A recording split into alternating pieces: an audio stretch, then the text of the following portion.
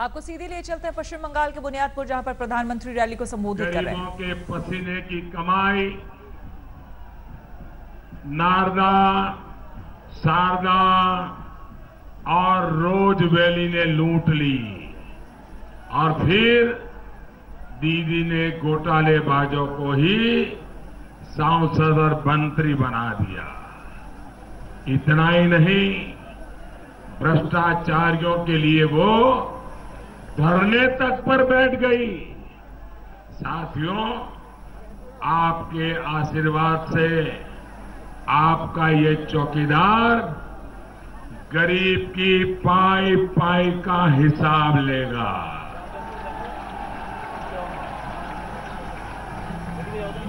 अब टीएमसी के जगाई मथाई जितनी ताकत लगा ले इंसाफ होने से नहीं रोक पाएँगे।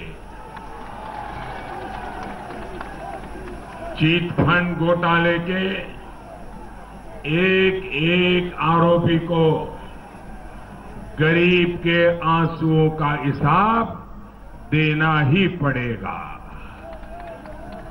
साथियों, जिस तरह बुआ भतीजा मिलकर पश्चिम बंगाल की संस्कृति को, यहाँ की पहचान को, यहाँ के लोगों को बदनाम कर रहे हैं, वो शर्मनाक है।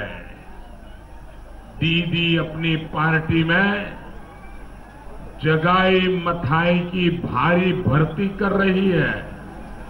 लेकिन जिन युवाओं ने एग्ज़ाम पास किया है उनको नौकरी नहीं देती।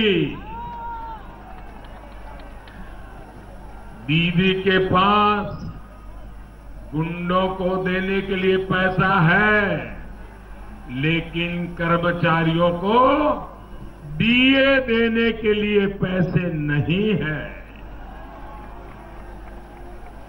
दिल्ली की केंद्र सरकार ने सातवां वेतन आयोग लागू कर दिया।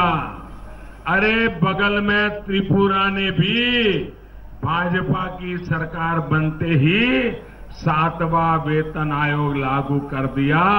लेकिन ये दीदी, गरीबों की बातें करने वाली दीदी, यहाँ के सरकार के कर्मचारियों को छठा वेतन आयोग भी लागू नहीं करती है। बताइए।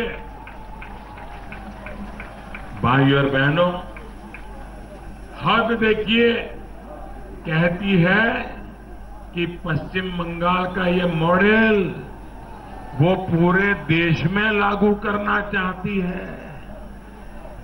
अरे जहाँ टोलाबाजी टैक्स के बगैर जीवन नहीं चलता। जहाँ गरीबों को